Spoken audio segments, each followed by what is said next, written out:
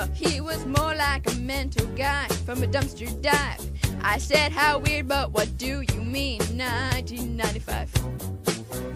Who would buy on the telly, on the web? He said, Buy one now.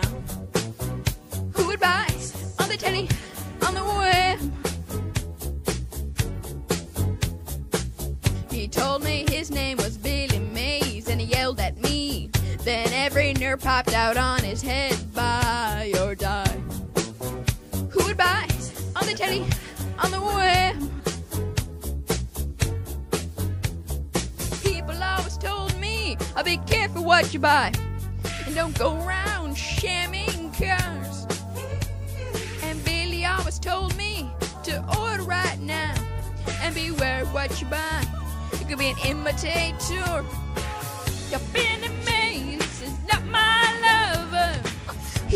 He's guy who sells me lots of crap. But the Slap Chop is from him. He said, buy one now. But his beard is way too black.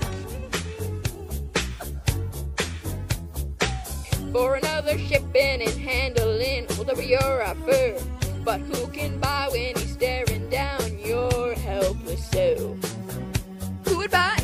the telly, on the web?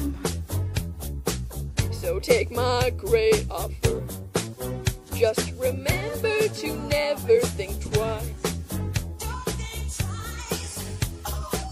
He told me lately my stuff is old, and he jumped to me. Then showed a guy with an ugly girl snuggie like mine. Hell no.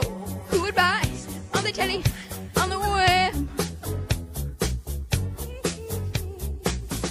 Billy Mays is not my lover. He's just a guy who sells me lots of crap. Give me